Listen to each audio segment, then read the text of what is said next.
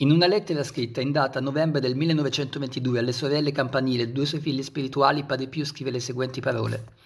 Una voce mesta ma dolcissima faceva eco nel povero mio cuore. Era l'avviso del Padre amoroso, che delineava alla mente del figlio suo i pericoli che incontrato avrebbe nella lotta della vita.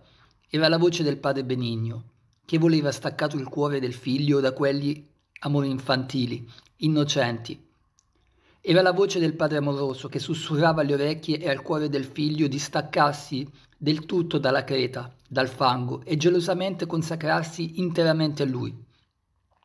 Ardentemente, con sospiri amorosi, con gemiti inenarrabili, con parole dolci e soavi, lo chiamava a sé, voleva farlo tutto suo, di più, geloso quasi del figlio, permetteva spesso che la creatura, figlia della terra e del fango, tirasse calci, lanciasse pugni di ingratitudine al figlio amato di, da lui, con tanta tenerezza ed affetto, e quelli comprendesse quanto sia stato fallace e menzognero l'amore che innocentemente ed infantilmente dava alle creature. Io, il figlio ingrato, allora comprendevo tutto e chiaramente contemplavo il quadro terribile e spaventoso che nella sua infinita misericordia mi presentava, quadro veramente spoetizzante che avrebbe fatto tremare e paventare le anime più provate. Nello scorgere io quelle brutture, quelle miserie, invocavo subito i santissimi nomi di Gesù e Maria, chiamando con ansia ardente il buon Padre che venisse in mio aiuto.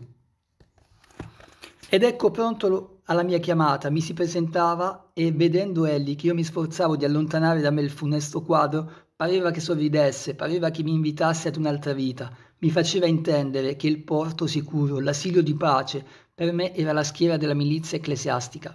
Grazie per aver ascoltato questo video e alla prossima.